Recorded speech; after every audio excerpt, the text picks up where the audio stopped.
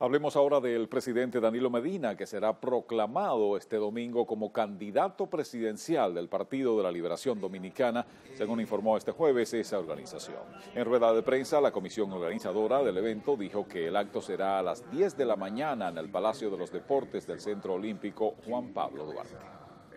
Eh, esta actividad del domingo estará encabezada por la dirección política de nuestro partido, la dirigencia nacional, el bloque progresista y los partidos aliados. Es un, es un acto donde se pondrá de manifiesto y la simiente de su, de su, del acto será básicamente los elementos que han sido la base de su gestión de gobierno. La unión, la esperanza y la paz. Son las, las ideas que van a ambientar ese acto de lanzamiento oficial de la candidatura. Jiménez Bichara dijo que confía en que el expresidente Leonel Fernández asista a la proclamación.